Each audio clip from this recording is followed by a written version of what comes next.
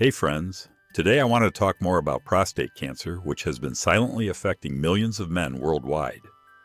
This form of cancer develops in the prostate gland, a small walnut-sized gland found only in males that produces seminal fluid.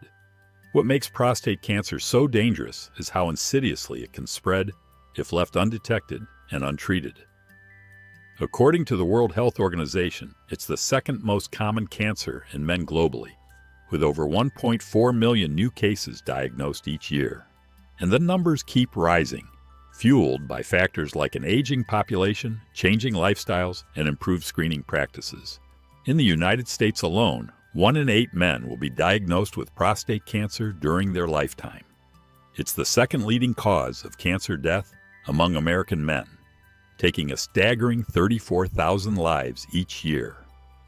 With those sobering statistics in mind, it's crucial we understand how this disease can progress and what to expect.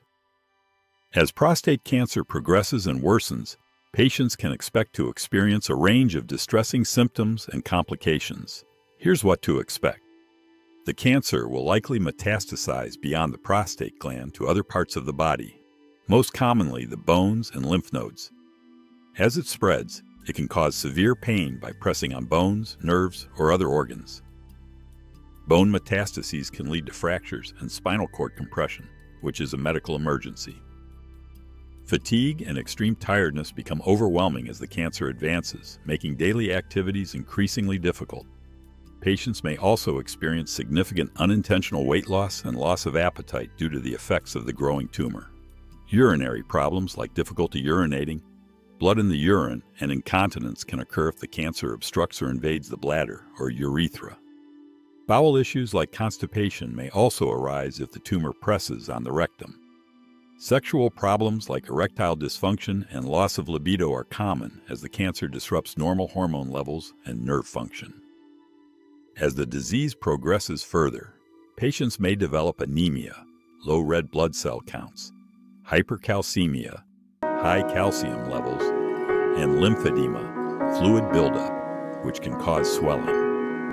In the final stages, the cancer can metastasize to vital organs like the liver and lungs, leading to organ failure. Patients may experience increased confusion, pain that is difficult to control, and a general worsening of all symptoms.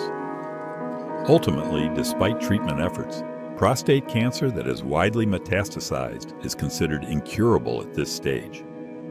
The median survival time is only three years once the disease becomes resistant to hormonal treatment and spreads to distant sites.